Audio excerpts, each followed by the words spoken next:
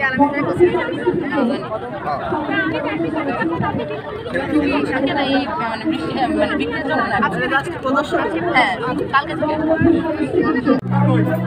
হ্যাঁ চার মতো আছে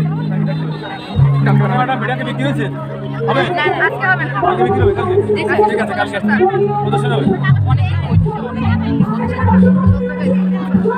ঠিক জানো ওরা করছে কি হ্যাঁ হ্যাঁ